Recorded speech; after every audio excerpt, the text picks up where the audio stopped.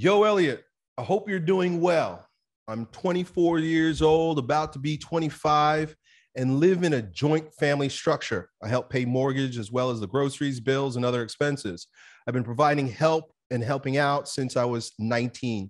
For work, I have two jobs uh, an IT job, and, uh, and I help people land jobs, trade stocks, and make content for men on YouTube. Very cool. I work so much because deep inside, I know what I lack, which is my queen. I've been on semen retention for almost a year and have been celibate intentionally for five. I want a religious girl who's going to provide that education for my children and help me get closer to God, as well as I'm very warrior personality like and want to build an empire in my business. My question might be weird. I've been I've been courting girls for a couple years now at this point, and not one single girl would I consider a genuine prospect. My parents offered me a few times to help me find a girl back home because they're actually raised to be wives and have way more loyalty than Western girls. When I went celibate five years ago, I did it with the intention that I wanted my wife to become someone special. And in order for that to happen, I had to become pure myself. I go so far as saying that I really want a soulmate. Do you think it's unpractical for me to want a soulmate? Do you think it's a good idea to get a girl from back home whom, worst case scenario, if we couldn't have a deep love, she'd know her duty? Would appreciate your thoughts. So, this is a great question, man. And I'm going to jump in here and start with this. First of all, I, am not so sure there's such thing as a soulmate, right? And I'm not so sure falling in love is so important either, right? I know this sounds crazy, but you got to remember that most of these concepts come to us from Disney, right? The media and the movies and the world has convinced us that we need to fall in love. We need to have this emotional melting and this sense that you and I are the only ones for each other, and you're my soulmate. And it's all this ushy gushy feely BS, in my opinion. My kids and I started watching movies uh, over Christmas, right? We never watch movies together, my wife and I, because we don't watch movies, we read. And so we haven't watched movies with our kids, but since moving out here and kind of not really having the internet and stuff like that, it's very limited. Uh, I started buying DVDs on Amazon, right? And I remember back in the day, DVDs were like, you know, I you would rent them from or VHSs. I would rent them from Blockbuster for like twelve dollars uh, to like for two days, and I'm finding the, these old DVDs for like three bucks on on Amazon. So I bought one called The Princess Bride. It was a movie that my wife and I used to love love watching. It's sort of a spoofy movie. It's a it's a goofy movie, but the whole movie is about true love, right? And Westley and Buttercup, true love. And we're my kids are giggling at it because it's silly that the, the true love that they think that they have is silly. And the fact is that a lot of people run around acting like Westley and Buttercup, thinking that they have a true love. And I'm going to go so far as to say that love has nothing to do uh, with, all right, let me back up. Let me not be so harsh. The way we think love is supposed to work has been completely skewed. The word, word actually, love actually means willing the good of another, right? Willing the good of another. I will the good of my wife, and she loves, she wills the good of for me. And so we love each other in that way. But emotions sometimes are fickle. And so, this whole idea that we always need to be or need to find someone who gives us the ushy gushy goody sweet feelings all the time is a part of the reason why relationships don't work these days, right? This whole idea that people fall out of love is just as silly as falling in love because what they're expecting is to have ushy gushy good feelings.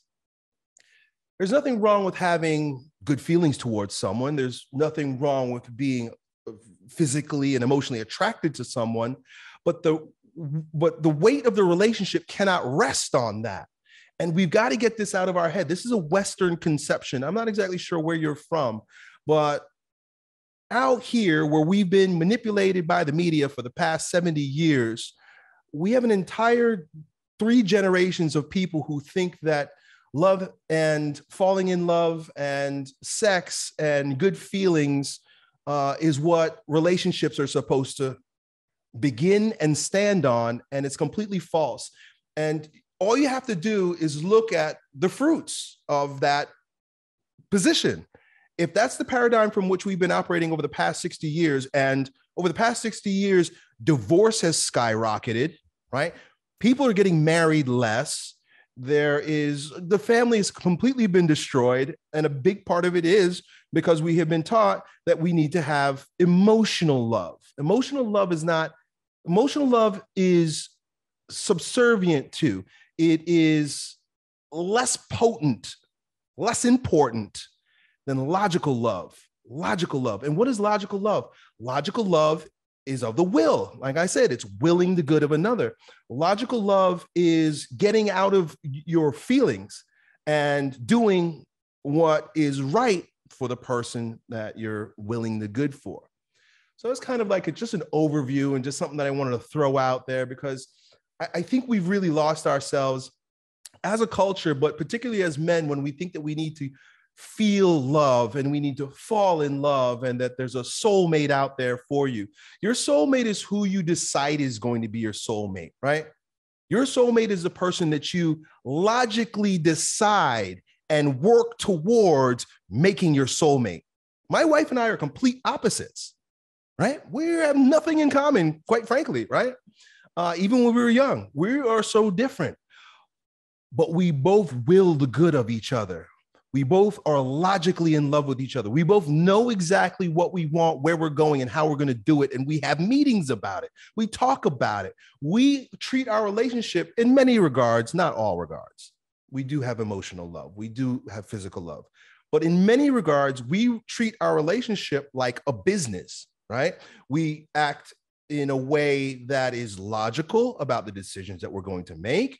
We think about the future and longevity of our relationship. We think not just about our children, but we think about our children's children.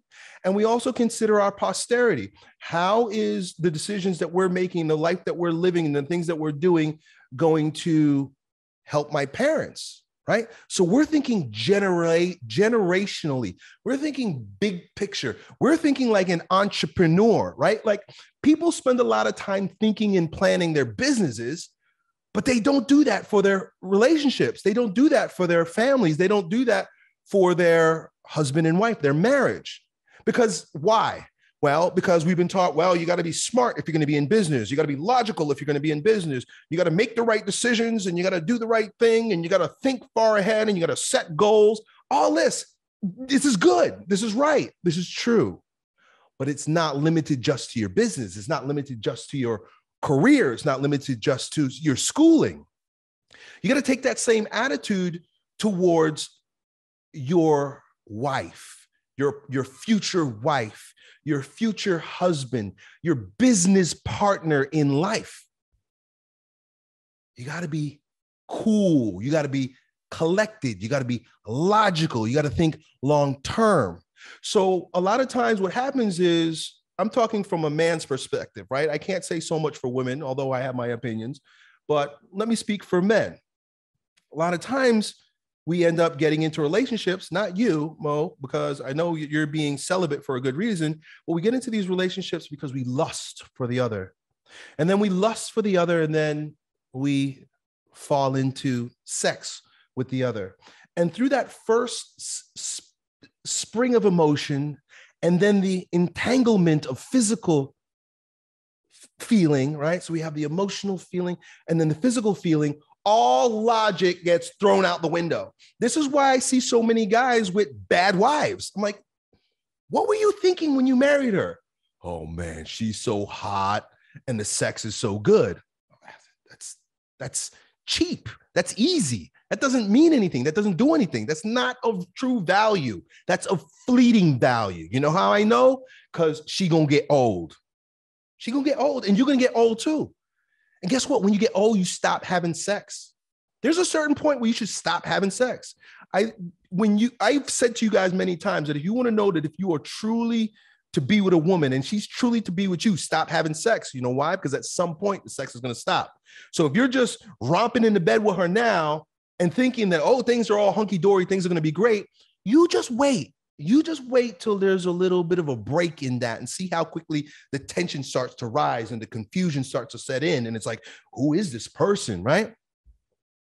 So we have to, we have to temper the emotion. We have to temper the physical attraction. And you're doing a great job at that. I'm not speaking to you particularly.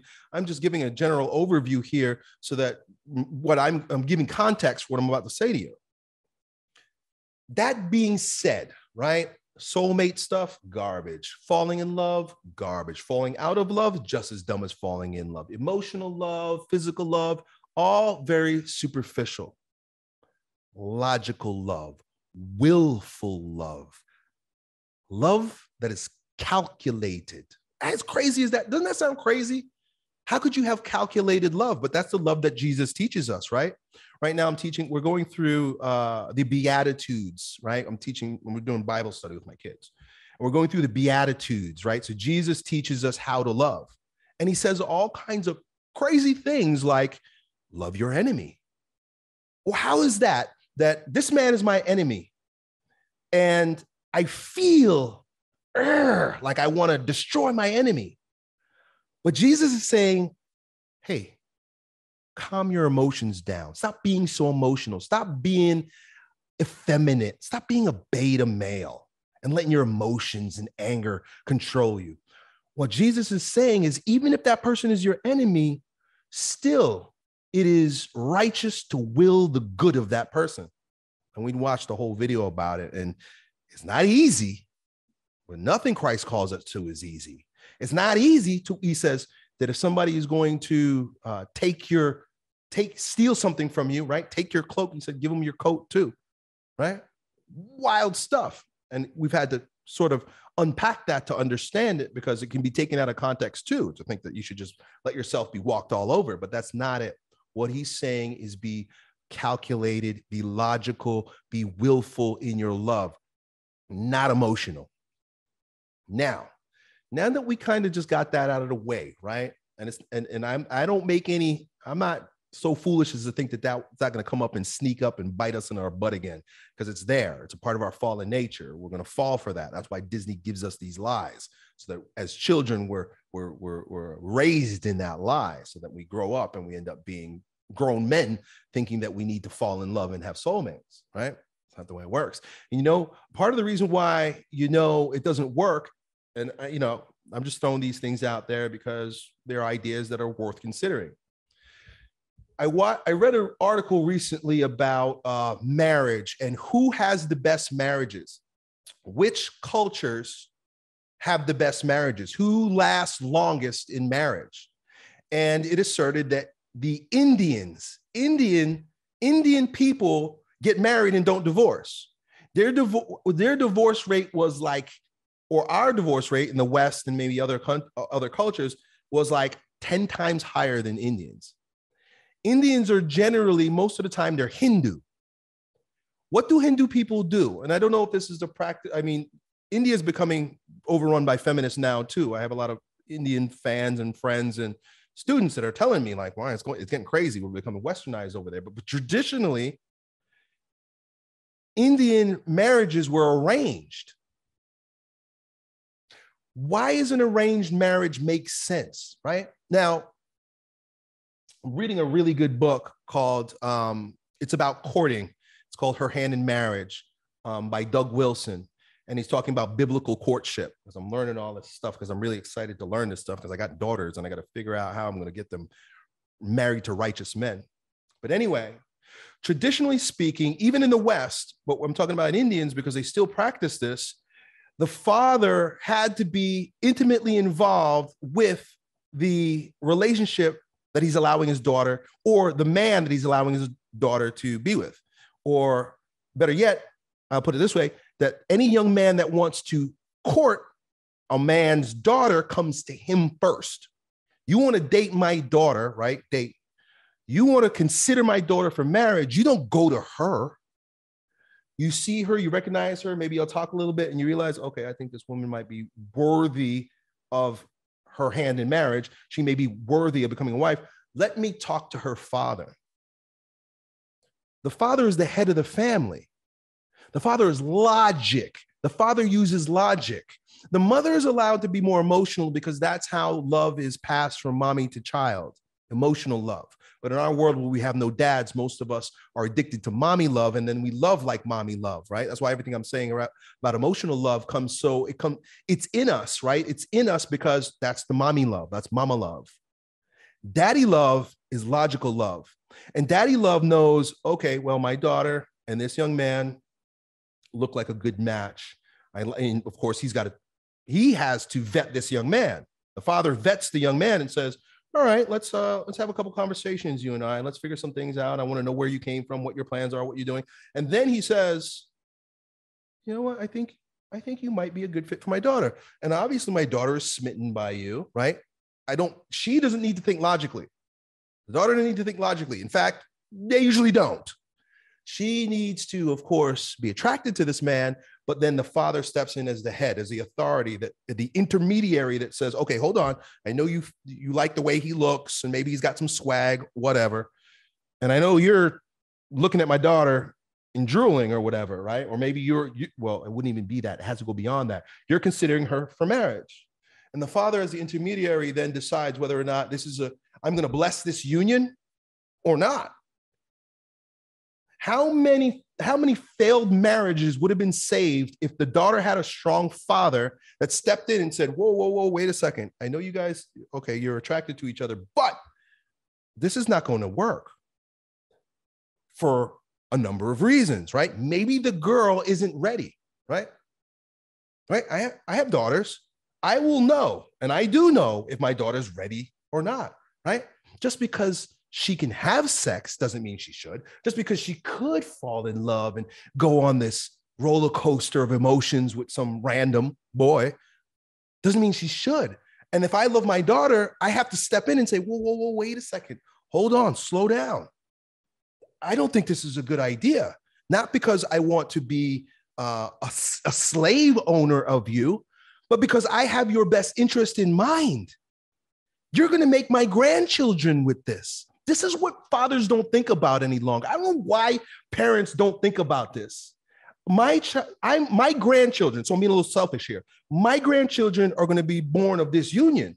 So I got to think whether or not is my is are my future is the my legacy of our name going to be worth this union? These are things that fathers should think about.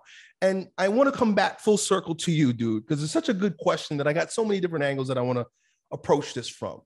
I like that you have been celibate, right? You've chosen to be celibate, right? That means you're preparing yourself to be a husband.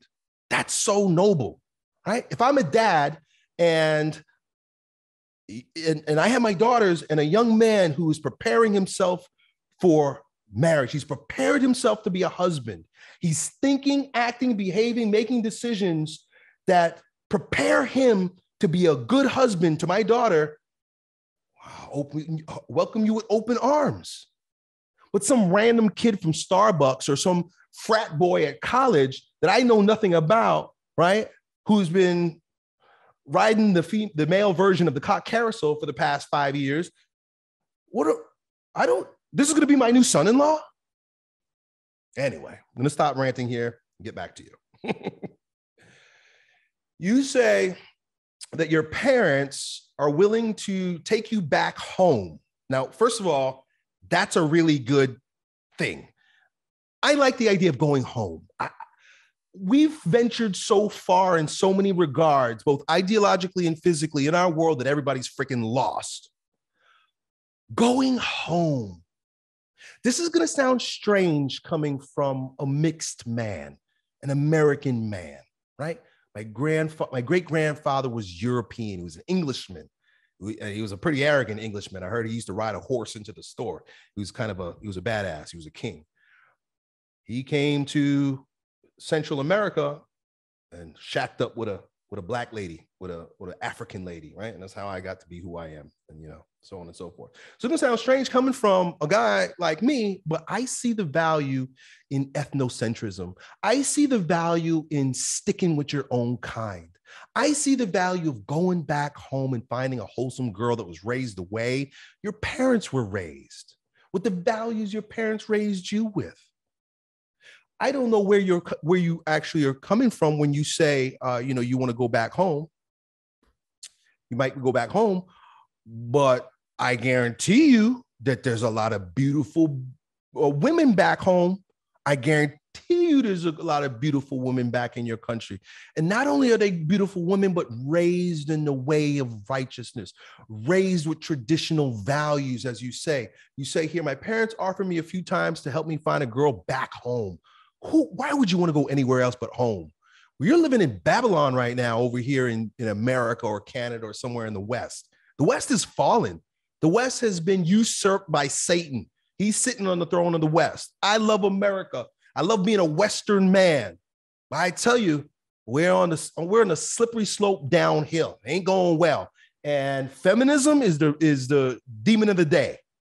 These women, I don't blame them because they were born into this, but they know nothing but feminism. They don't know any other way.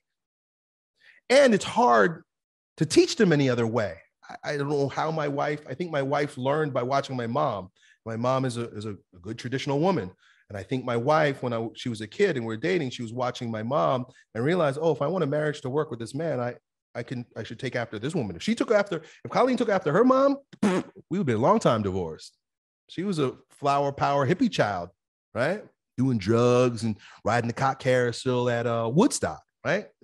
We've been we've been destroyed. Women have been destroyed. Men have been destroyed. You don't want to go picking here if you could pick somewhere else, especially back home. You go on to say, back home, they're actually raised to be wives and have way more loyalty than Western girls. What else would you want? Someone who's raised to be a wife, and loyal. They're raised to be loyal wives. Our women aren't raised to be loyal wives. They're raised to be strong, independent women. They're raised to be misandrists. There's a, there's a deep seated envy. Freud used to call it penis envy. There's an envy and there's a hatred that lurks in Western women's hearts that's stimulated by the quote unquote empowering stuff they hear on the radio and on the TV. You got like uh who, who's Jay-Z's wife name again? Beyonce, right? Ladies, leave your man at home. Guys at the club are bumping, bumping, right? She's telling you, she's telling women, and women will sing this song, ladies, leave your man at home. And this is like music that people dance to. You see guys dance to this shit too. I want to slap them. This is the kind of brainwashing that our women have. Ladies, leave your man at home. Back at your home, women are taught, ladies, keep your ass at home. ladies, keep your ass at home. Cook something, make babies, and keep your house bumping, bumping. Right? I mean, that's that's to me, I, it's not even my opinion. That's what makes a good family work. So you asked me, do you think it's a good idea to get a girl from back home? Worst case scenario, if we couldn't have a deep love, she would know her duty. You will have a deep love with her if y'all choose to have a deep love. How about that? Because what you're hoping for is an accidental love. This is what people this is this is love in America. Accidental love. Accidental love is garbage love. Is fake love. Is Disney love and that's why it don't work. Hindus, they don't have accidental love. right? And obviously, you, you say you're Muslim. If if that's the tradition that you're given in marriage, let me put you put it this way: even in the West, that was the tradition.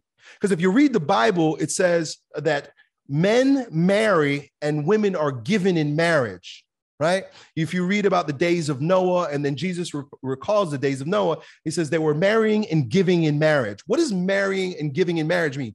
Means that a woman was given to a man. Who, uh, if a woman's given to a husband, who's giving her? A father. We don't have fathers here. We don't have fathers. These girls don't have fathers. They have a man at home that was a sperm donor, and maybe he's not even home, but she will most likely have no idea what a real home and a real man is supposed to be like. So you say, if we couldn't have deep love, at least she'll know her duty. Let me let me let me say this, man. Even if you don't have emotional love for someone right away, but if they know their role, they play their part, and they serve you well, you can't help but fall in love with them. Because that's a that's a that kind of love is earned, right? Falling in love is not earned.